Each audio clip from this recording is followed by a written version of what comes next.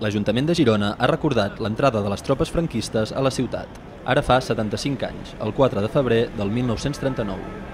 Durant l'acte institucional de rememoració d'aquests fets, en el qual han assistit representants de la vida política, econòmica i cultural gironina, l'alcalde de la ciutat, Carles Puigdemont, ha destacat que el 4 de febrer va suposar la fi de la guerra i l'inici d'una cruel repressió a Girona.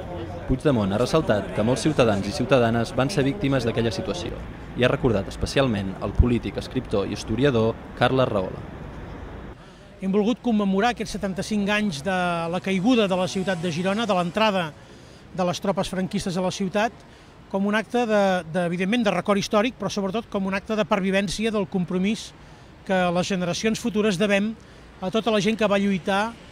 eh, molt sense, sense fortuna perquè van conèixer la derrota i la, i la dura repressió que va començar ara fa 75 anys, però que en qualsevol cas van intentar crear una societat millor. Per finalitzar l'acte institucional, s'ha descobert una placa commemorativa al vell mig de la plaça Marquès de Camps, com a testimoni d'uns dies horribles viscuts a la ciutat de Girona ara fa 75 anys.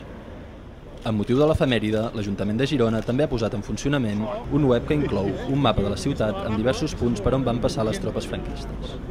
En cadascun d'aquests emplaçaments s'hi pot trobar una fotografia d'aleshores, una d'actual i una fotocomposició que fusiona les dues imatges. En total, es poden consultar fins a 11 fotografies que permeten acostar-nos a la Girona del darrer dia de guerra, amb la intenció d'evidenciar el nexe entre l'avui i l'ahir i alhora de retre un modest homenatge a aquelles persones que van viure una de les èpoques més tristes i sòrdides de la nostra història.